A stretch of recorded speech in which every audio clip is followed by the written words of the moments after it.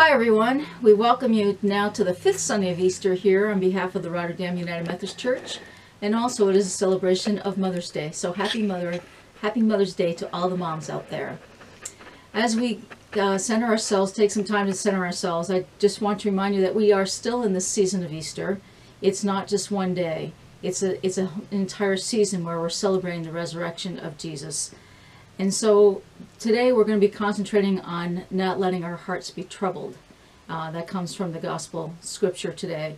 And there's also um, learning about God is our rock and refuge from one of the book of Psalms. so let's take a time now to create and center ourselves in this time of worship. Let us connect our hearts with one another. So once again, we're going to center our hearts as, as we begin. So let's take a deep breath, deep breath together.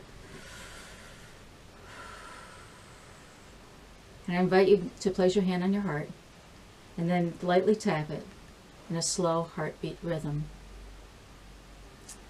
Holy living God, heartbeat of creation, help us to take this time to center on you, for you made us and you gave us life, and you continue to be with us every moment, every breath, every step. And now we hear this assurance once again from God. Be still, O heart, you're not alone. Your beat is shared with me. Come now and come and center here, your mind secure and free. So I want you to take one more deep breath, loosen up those shoulders, and let go of that tension, and just let it go as you exhale. You might need another one. And then exhale. once again, we pick up our heartstone. And we remember that as we touch the service, it reminds us of God's touch is within us, between us, and around us. As close and real as this object is in our hands right now, it's how close the love is to us always. And so today, one of the things we're going to be doing later in this service is we're going to imagine letting go of our worries because we know, in, and we're going to put it into God's heart of love. So into your care, God, we offer now our worries, fear, and strife. We turn to you and know you're near, your light, our love, and life. And one of the joys I had this week was I got a beautiful little stone here that says love on it. And mine actually says, love each other because love comes from God, from 1 John chapter 4, verse 7. And I want to thank the person who sent that to me. I appreciate that.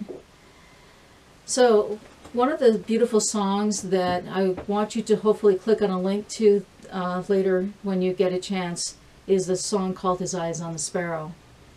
And it's all about with if God can take care of a sparrow, we know that God can watch over us and take care of us. So I hope that you will click on that link too from this service.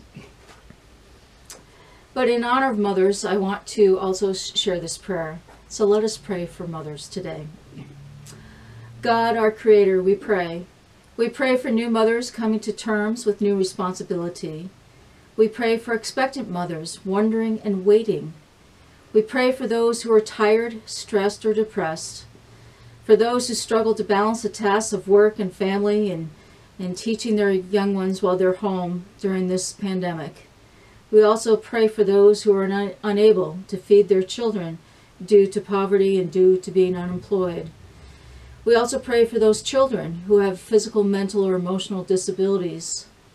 And we pray for those moms who have children that they do not want, and for those moms who raise children on their own for those mothers who have also lost a child. And we pray for those mothers who care for the children of others, and for those moms whose children have left home. We also pray for those who desire to be a mother and it has not yet been fulfilled. But God, we bless, we ask that you bless all mothers, that their love may be deeper and tender, and that they may lead their children to know and do what is good, living not for themselves alone, but for you, God, and for others. We ask this in Jesus' name. Amen.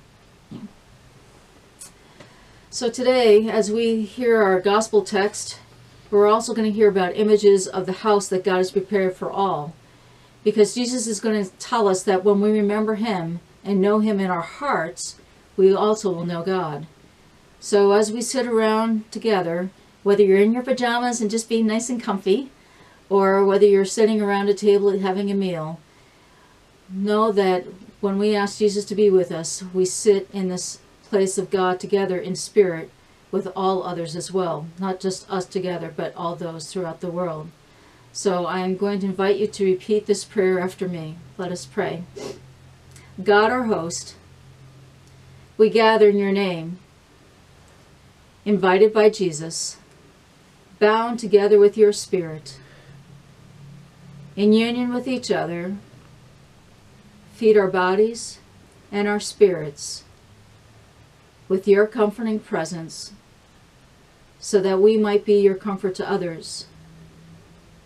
We know that God is in our midst, forming us to be God's own people. And though the way may be difficult, we know that God will be with us. So we need not fear. In the Lord we know that we can take our refuge because God is our strength. So I invite you to come to the Lord who will surround you with God's own righteousness. And we ask, Lord, that you open our hearts and our spirits so that we may faithfully follow you all the days of our lives. Amen.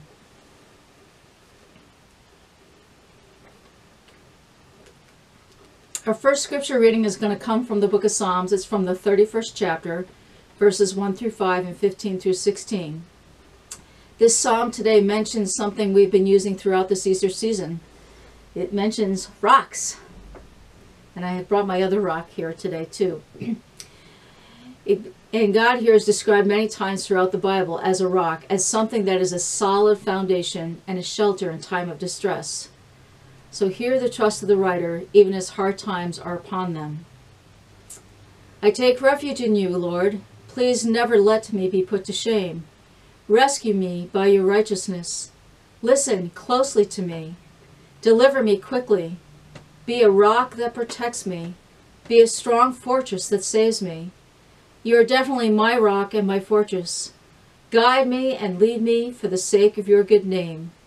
Get me out of this net that, that's been set for me, because you are my protective fortress. I entrust my spirit into your hands. You, Lord, God of faithfulness, you have saved me. My future is in your hands, so don't hand me over to my enemies, to all who are out to get me. Shine your face on your servant Save me by your faithful love.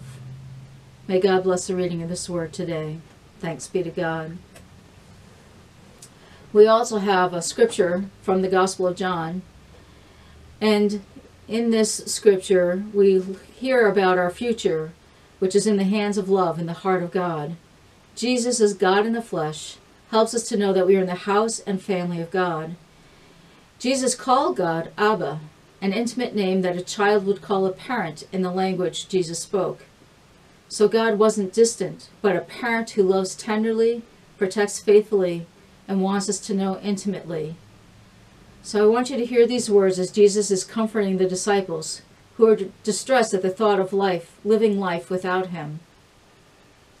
And I'm reading from the Gospel of John, chapter 14, verses 1 through 14, and I'm reading from an inclusive Bible translation. Do not let your hearts be troubled. You have faith in God. Have faith in me as well. In God's house there are many dwelling places. Otherwise, how could I have told you that I was going to prepare a place for you? I am indeed going to prepare a place for you, and then I will come back to take you with me, that where I am, there you may be as well. You know the way that leads to where I'm going. Well, Thomas replied, But we don't know where you're going. How can we know the way? Jesus told him, I myself am the way. I am truth and I am life. No one comes to Abba God but through me. If you really knew me, you would know Abba God also. From this point on, you know Abba God and you have seen God. Rabbi, Philip said, show us Abba God, and that will be enough for us. Jesus replied, Have I been with you all this time, Philip, and still you don't know me. Whoever has seen me has seen Abba God. How can you say, Show us your God? Don't you believe that I am in God and God is in me? The words I speak are not spoken of myself. It is Abba God living in me, who is accomplishing the works of God. Believe me that I am in God and God is in me, or else believe of the works that I do.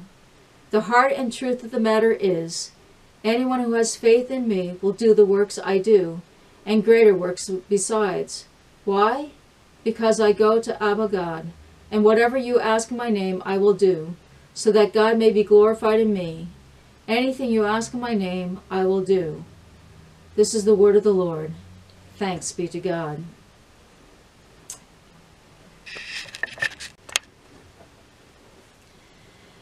Jesus himself, he cried out to God from the Hebrew scriptures that were his holy texts and what we read today. Into your hands I commit my spirit.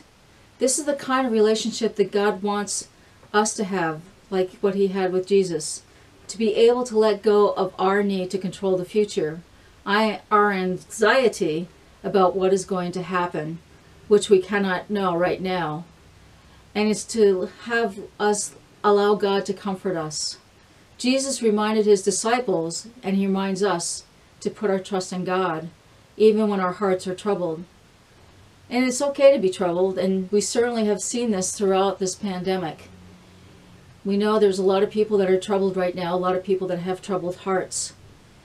But even when we have these troubled hearts, even when our minds may be working overtime, our hearts can be rest assured that we are in God's love. It's a steadfast love is what God shows us and what we are called to offer each other. In this way, we are also in the presence of God through Christ, so that others may know this comfort of the Divine One. And I think about when Thomas said, How do we know the way that we are going? You know, we don't know the way. Show us the way. And Jesus said, I am the way. So the more we spend time with Jesus, the more we spend time with God in prayer, in lifting one another up, in the Bible and the scriptures, the more I believe we can let our troubles be lifted up to God, but also to trust that God is the way. Jesus is the way, the truth, the life. And and it's one of those things that as we struggle and you know this past week I was anxious about some things and I had no control over it because I couldn't go to a hospital to be there with my family. I just had to wait. I had to wait till I could hear that everything was okay. But the one thing that was a blessing for me was I could put out a prayer request. And I know you lifted up my family in prayer. And that was a comfort to me. That means so much. And I thank those who sent me emails and texts and asking how everything went and, and made phone calls. That's one way that we can show God's love to one another. So I wanted to thank you for that. Another thing that we've been talking about, we've been using rocks throughout all this. And, you know, we have this rock, which is this beautiful, nice spherical rock, you know, nice and smooth and, and like with no flaws at all. And then this is the rock I was been telling you about earlier that I found.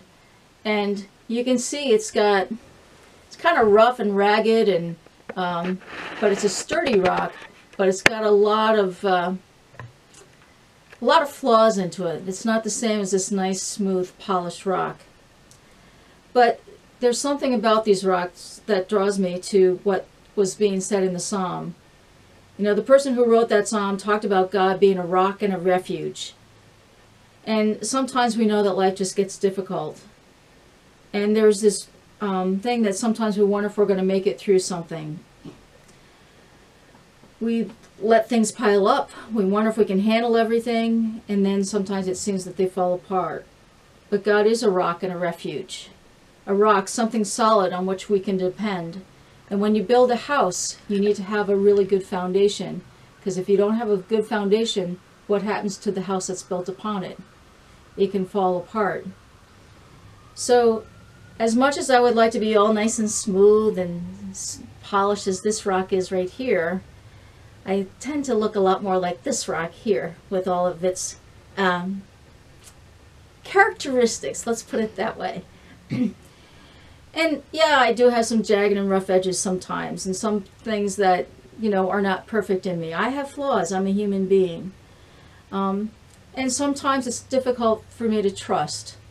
And maybe sometimes you've had difficulties trusting in someone else too, because maybe you've been hurt when you've been growing up or somebody what we call backstabbed you, you know, stabbed you in the back, doing, you know, working around you when it was your turn for a promotion, instead they took it away from you. But regardless of whether it's this rock or this rock, it doesn't really matter because what's most important is that God is the one who loves me, whether I look like this or whether I look like this, whether I'm have um, smooth sailing sometimes in my life or whether things get a little bit crazy and a little bit disjointed. God loves me all the same, and God is saying I can put my trust in Him. God is saying I can put my trust in this divine presence that loves me and watches over me and will forgive me and is patient with me, which boy do I need sometimes. But it's also saying that you don't have to be troubled all the time. Let go of your troubles because I am there. I am your rock and I am your refuge. And so it's it's one of these things that God can help take away those jagged edges and smooth the surfaces and make me more like this if I put my trust in God. So in you, O Lord, I seek refuge. Please do not let me ever be put to shame. And in your righteousness, I ask that you deliver me. Incline your ear to me. Rescue me speedily. Be a rock of refuge for me, a strong fortress to save me. You are indeed my rock and my fortress, for your name's sake. I ask that you lead me and guide me. Take me out of that net that is hidden for me for you are my refuge. For into your hand I commit my spirit, and I know that you have redeemed me. O Lord, faithful God, you are our rock and our refuge. And I ask you, when you think about these rocks, think about the strength and solid features of the rocks. Think about the brokenness and the jagged edges. And as you keep holding it, know no matter what, God is still loving you and working with you and all your jagged edges, all the difficulties you may face, God is still there with you, strengthening you, and will be your fortress and be your refuge. Now I have another little uh, thing I want to share with you today. We've been taking these rocks and we've been putting them, last week we put them in the water and I when I drop the water, drop the rocks into the water we found that the water overflows as a symbol of God's overflowing love for us. But sometimes maybe we need to write something down. And so I have a little, well, I call it a tin, but it's actually a God box. And you can take a shoebox, you can take whatever you want to make your own little God box, okay? And it's a way of writing down things that you're anxious about or problems that you feel are too big to handle something that may feel overwhelming. And or maybe it's something you haven't quite figured out yet and you just don't know what to do at the moment. So what I'm going to do is I'm going to write something down and I'm going to put it in my little God box. And I'm going to put it in there and so it's a way of me letting it go for a while and giving it to God.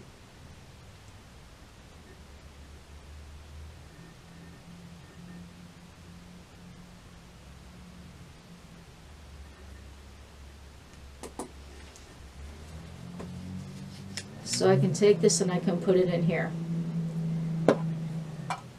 And I'm going to turn it over and let it be for God. Now some of you may think that I need a much bigger box to put all my worries and anxieties. And, and it may seem that way, especially what with everything that we're going through with the pandemic, with you know the stay at home, with all the people that are getting sick, and especially now all the things that we've heard about children, especially down in New York City, that are are um, getting other um, illnesses and stuff based upon this virus. Uh, but I'd like to think that God can handle whether it's this size or this size. God is all powerful. God can handle it all. And it reminds me too that when I was at the in the Holy Land, there's the Wailing Wall. It's the Western Wall. It's part of the one part of the temple that's left from way back when. And when you go there, you can put your pieces of paper into the little cracks in the wall, your prayers and everything, and you can lift them up to God. And then every now and then the rabbis will come and they'll take all those prayers and they take them and they burn them and lift them all up to God. So that it all goes up. And so I can think about that too. So maybe that's what I'll do when I fill up my box with different worries, anxieties, or problems, or things I feel overwhelmed with. Maybe when I feel it's ready, I can take them all and just burn them and lift them up to God. but please do it safely. So if you do that, um, you know, it's one of those things that just letting it go and helping free your mind from all the things that are worrying you, all the things that are distressing you at this time, and maybe you may even discover a new way to look at something. So uh, hopefully you'll get some something a little bit more creative than me. But I uh, invite you to try and do that. Our theme throughout this time of Easter is is, is finding ways to work together, be together. The early disciples did that in the book of Acts, where they ate food with glad and generous hearts, and they shared everything that they had with one another. So, one way that we can be glad and generous is to share about how we are finding strength, hope, love, and peace in these days, especially during this pandemic and this time of being um, stay at home orders. So, whether we break this bread in physical bread, one of the ways that we can do this is to open up our hearts to one another as well. And in this week's scripture that we had, we are invited to trust in God trust that God is our rock and fortress, and to also take a break from our worry. So, here are these questions Are you finding it difficult to let go of worry or to take a break? Are there just so many things that are overwhelming you at this time? Has there been anything that you've witnessed this week that has helped you feel an ongoing and steadfast love that was comforting?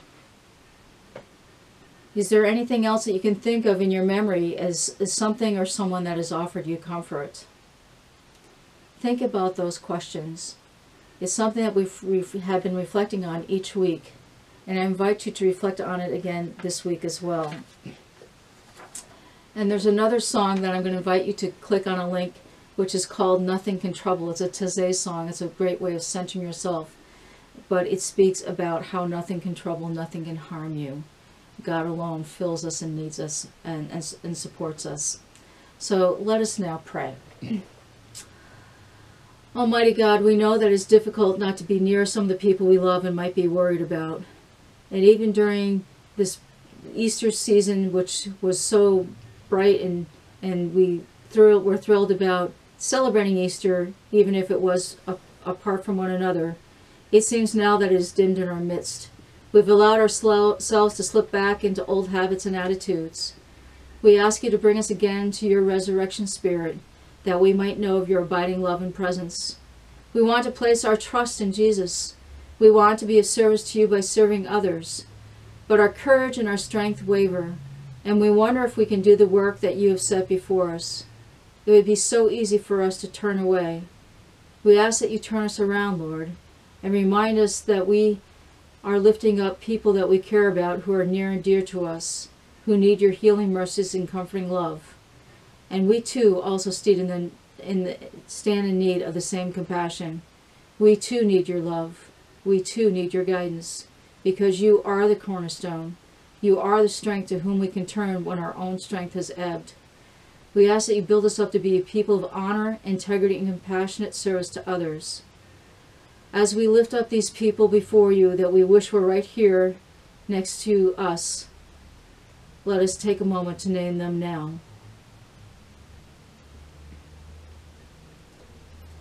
And God, we also call to mind the people we cannot name, whose names we do not know, but we know they need our prayers and God's comfort. For those who have lost loved ones, for those who are sick and recovering, for those who are caring for loved ones or who are sick at home, for those who are caring for persons in medical care, for those who are separated from loved ones, for those who are feeling alone and isolated, for those who are helping and are so very tired, for those who are struggling to find friends, food, and comfort, and for those who are afraid. O oh God, we give you thanks that you hear our prayers, and we offer them all to you in the prayer that Jesus taught us, saying, Our Father, who art in heaven, hallowed be thy name. Thy kingdom come, thy will be done, on earth as it is in heaven. Give us this day our daily bread, and forgive us our trespasses, as we forgive those who trespass against us. And lead us not into temptation, but deliver us from evil. For thine is the kingdom, and the power, and the glory forever. Amen.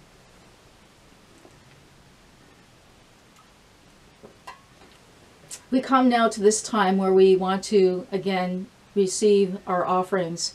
And if there's been a time here where you have felt called to contribute to this church and our ministries, we invite you to do so. You can send in your your your offering envelopes, or you can uh, do something by PayPal. If you're not of our church but are still feeling called to support us, we would gladly appreciate that. But if you have a church of your own, please feel free to con- con- continue to contribute to them because we are here, even if we are virtual, we are here for you. So please stay with us and connect with us. And so let us now pray this prayer of gratitude to God. Loving God, as we offer our gifts to you, we know you see us more clearly than the world sees us, or even than we see ourselves. We have made foolish choices, valued things that were not worthy, and yet you have claimed us, deemed us precious, counted us worthy, saving by the death and resurrection of your Son. No gift that we can offer can come close to balancing out your relentless love, but we give them with a heart of gratitude. We give ourselves in the name of one, the, the one you gave for us. In Christ's name we pray. Amen. And so now we come to this time where we have another egg. And in this egg, we'll hopefully find another word of encouragement. Ooh, there's something different this time. It's not a Smarties. It is a Dove dark chocolate Easter egg. Mmm, yum. And what does the word say this time? It says, Come to me, all you who are weary and burdened, and I will give you rest. From Matthew 11, verse 28. So we have come, we have come to this time where we get ready to say, Until we meet again. And as we close this time together, I want you to remember that God is always with you, no matter what you face, no matter what trials or hardships come your way. God is right beside you, ready to hold you, to be a rock for you, guiding and directing your path. So acknowledge your fear and your worry, and know it is as true and holy as any feeling, including joy and hope and love. But know that God's heart is connected to your heart, and God's love is there always for you. So be thankful, be grateful, and know that God's ultimate gift is love.